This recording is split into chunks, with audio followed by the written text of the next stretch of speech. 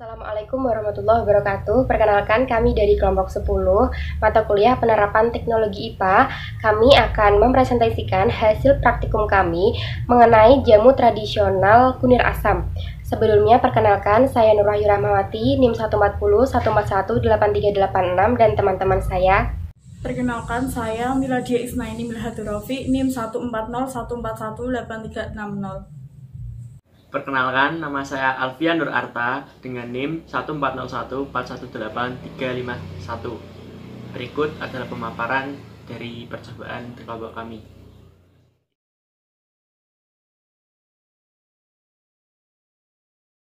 Nah, sebelumnya saya akan menjelaskan mengenai struktur morfologi dari tanaman kunyit.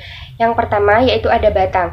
Batang dari tanaman kunyit memiliki warna hijau dengan tinggi batang mencapai 70-100 cm mengarah lurus ke atas atau geotropisme. Kemudian yang kedua ada bunga. Bunga pada tanaman kunyit muncul dari rimpang yang terletak pada bagian batang. Nah, eh, bagian mahkota dari bunga ini memiliki warna putih. Kemudian yang ketiga ada akar. Kunyit memiliki bau akar yang khas rasanya pedas dan pahit.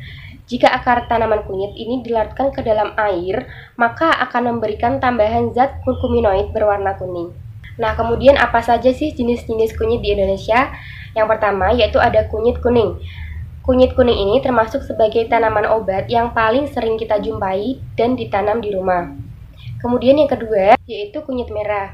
Secara umum, kunyit merah memiliki ciri warna yang sama dengan kunyit kuning. Warna dari kunyit merah cenderung lebih jingga dan lebih pekat. Kunyit merah mengandung senyawa dengan sifat antibakteri, antioksidan, dan antiinflamasi yang baik bagi kesehatan tubuh. Kemudian yang ketiga ada kunyit putih. Kunyit putih dipercaya mampu mengobati berbagai macam penyakit. Manfaat kunyit putih sendiri adalah sebagai antibakteri, anti jamur, anti alergi, analgesik atau anti nyeri, anti racun, dan anti radang. Kemudian yang keempat ada kunyit hitam. Dari jenis kunyit lainnya, kunyit hitam memang kurang umum bagi masyarakat. Namun manfaat dari kunyit ini sangat baik bagi kesehatan. Kandungan yang ada di dalamnya, salah satunya adalah kurkuma caesia yang mengandung zat antioksidan tinggi dan bermanfaat untuk anti radang dan mencegah kanker. Nah, selanjutnya ada juga manfaat kunyit untuk kesehatan. Yang pertama, mengobati asam lambung. Kunyit juga bermanfaat untuk melindungi dan melapisi dinding lambung dengan cara meningkatkan produksi lendir. Yang kedua, mengurangi gas pada pencernaan. Kunyit berfungsi mengurangi asam pada perut yang berlebih dan juga membuat perut menjadi kembung. Yang ketiga, mengurangi mual. Ada kandungannya phytochemisal pada kunyit untuk menghadirkan antioksidan di tubuh yang berfungsi memerangi racun sehingga mual Anda bisa diredakan.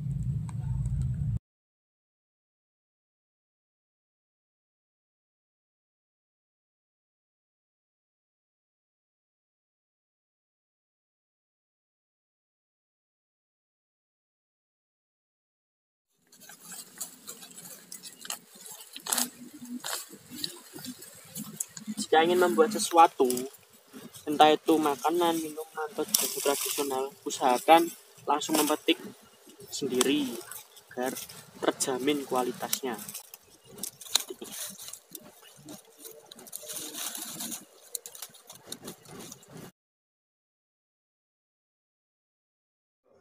Satu rimpang kunyit ini kita bersihkan sampai benar-benar bersih kita bersihkan dari akar-akarnya kemudian dari tangannya lebih baik lagi kita kering.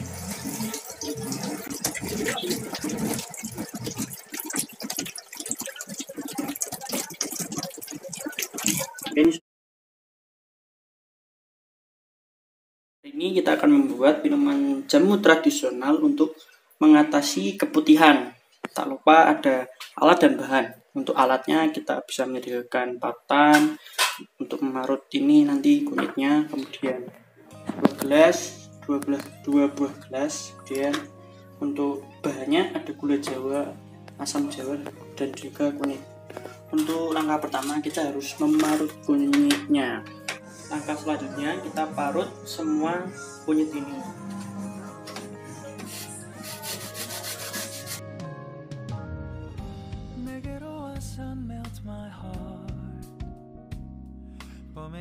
달달한 그대를 보며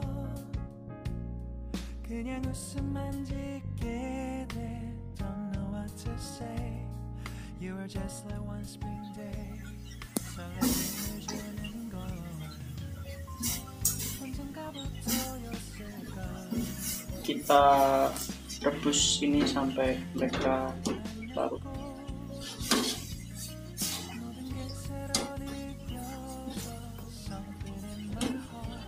setelah gula jawa larut dan mendidih kita masukkan dari parutan kunyit tersebut. Kita rebus hingga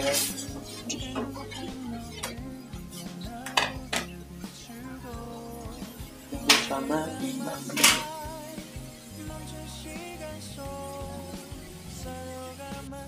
Oke teman-teman, setelah ini mendidih dan berubah warna menjadi kuning kecoklat-coklatan, kita saring minuman tersebut.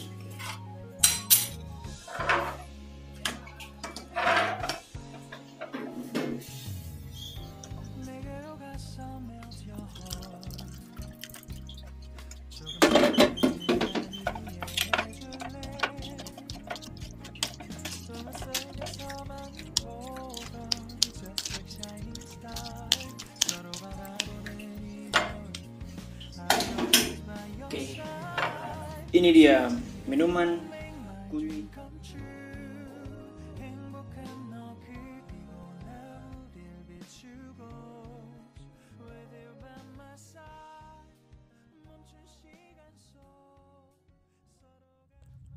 Nah, kesimpulan pengolahan minuman sehat jamu eh, kunir asem. Jamu merupakan salah satu warisan bangsa bukan dari konsep obat atau kesehatan, tetapi juga budaya. Budaya minuman jamu ini masih di Indonesia. Jamu kunyit sangat bermanfaat bagi kesegaran atau kebugaran tubuh sehingga tubuh kita akan sehat dan kurang dari segala penyakit. Oleh karena itu, gunakanlah jamu kunyit sebagai pengobatan tradisional. Apabila kita mengolah pengobatan yang alami itu dengan baik, maka akan bermanfaat bagi kita. Sekian dari kelompok 10. Bila ada tutur kata yang salah, mohon maaf. Wassalamualaikum warahmatullahi wabarakatuh.